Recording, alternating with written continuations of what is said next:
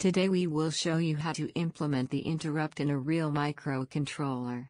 For this we are using PIC16F877A. This is the circuit we are going to use. There is a switch attached to the microcontroller, which creates the interrupt, and when this interrupt is created, the attached LED toggles its state. As you can see here by pressing the switch we can generate the interrupt, and LED is changing its state from on to off or off to on.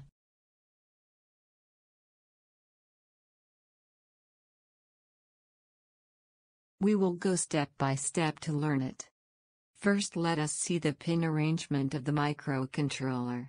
This is the picture and here you can see that pin RB0 is having dual function of INT, which is nothing but an external interrupt.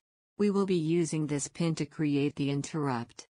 Now we know that to use the interrupt it has to be enabled, and it has to be enabled from two level, global level and the individual level. To enable or disable we need to set few bits of registers associated with the interrupt. In case of PIC16F877A the name of the register is INTCON. Here you see the picture of INTCON, it is 8-bit register. Here we need to set the GIE and INTE bits. GIE bit enables the global interrupt and INTE enables the individual interrupt associated with RB0. So this is the content of INTCON register, it is written in binary, if you change it to hex then it becomes 90 hex. So INTCON register has to be loaded with 90 hex. Now the INT interrupt is edge triggered. Means either a high to low or a low to high transition can generate the interrupt. The user can decide between rising edge or trailing edge. For that one more register is used. The name of the register is option underscore reg. Inside the option underscore reg there is a bit INTEDG.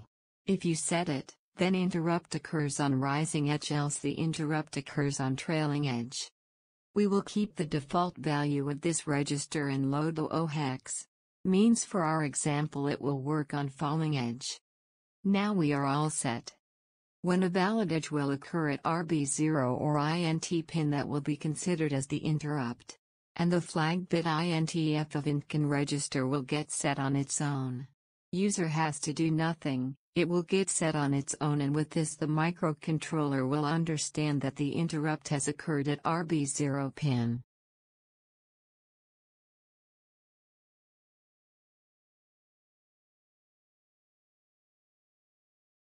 Now we need to set up the circuit. Pin RB0 is selected. A switch has to be attached to it. The switch may require a pull-up resistance to work properly. RD0 pin is selected as output. Attach one LED with RD0. It is better if you use current limiting resistance with series to the LED. This will keep LED safe.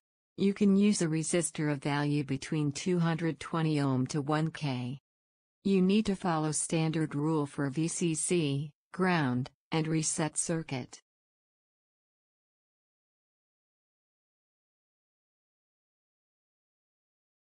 Now we will write the code for it.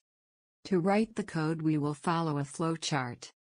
Since a switch is attached to pin RB0 we need to make it input. For this TRISB register is used. TRISB 0 equals 1 will set the bit RB0 hence it will become input pin. Now RD 0 need to be configured as output. For this TRISD register is used. Here we have written TRISD equals 0, it will set all the pins of port D as output. Here we are going to use pin RD 0, hence it gets set as the output. All other pins are also set as output, but we are not going to use them in this example. Now we need to keep the LED off at the beginning. For this we are writing port D equals 0.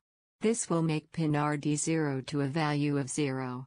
The anode of LED is attached to this pin, therefore the anode and cathode both will get 0. LED will remain in off state. In our previous slide we have found INTCON register has to be loaded with 90 hex. Now load the value 90 hex to INTCON register. Also load 0 hex to option underscore reg register. That's it. After this you have to do nothing so write while true loop with a semicolon. You are ready with your main code.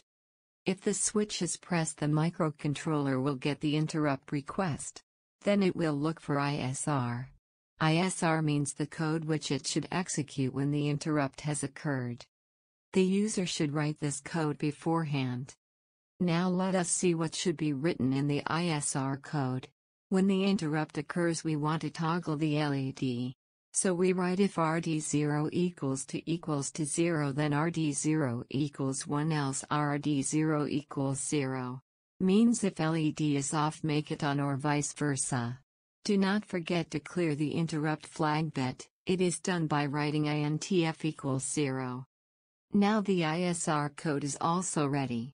Just include the header file and your full code is ready to build.